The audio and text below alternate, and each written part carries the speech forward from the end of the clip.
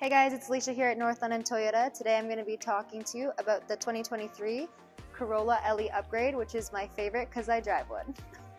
So new to our 23 Corolla L line is our 2 liter engine instead of the 1.8.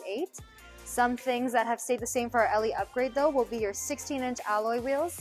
You'll get blind spot monitoring and my favorite is our smart key system.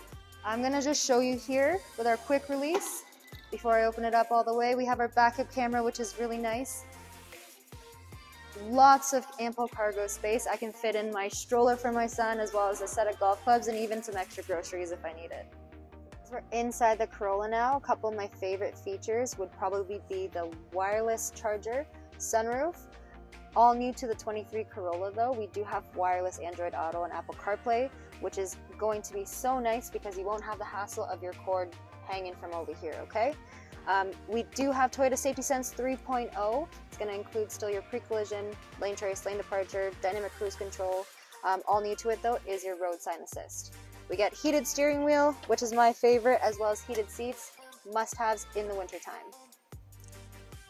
Last thing I want to mention is we have our SOS button up here, which is our Safety Connect.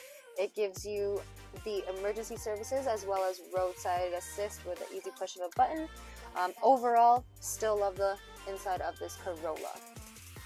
Thanks again for joining me here at North London Toyota. My name is Alysha. You can reach me at 519-451-3880 or visit us at www.northlondontoyota.com. If you have any questions or you want to order yours, please feel free to give me a shout.